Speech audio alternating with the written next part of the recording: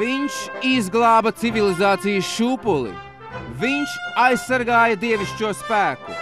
Viņš triumfēja pār ļaunuma armiju. Vīrs ar cepuri un pātagu ir klāts.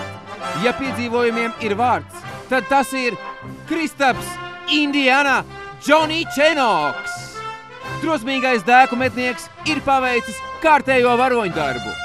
Eiropas spēlē Kristaps Seviļas Kahasovas komandai sagādāja neaizmirstamu piedzīvojumu. 37 minūtēs 32 punkti, 2 bumbas un liederības koeficients plus 32. Esi gatavs jauniem izaicinājumiem, Kristaps!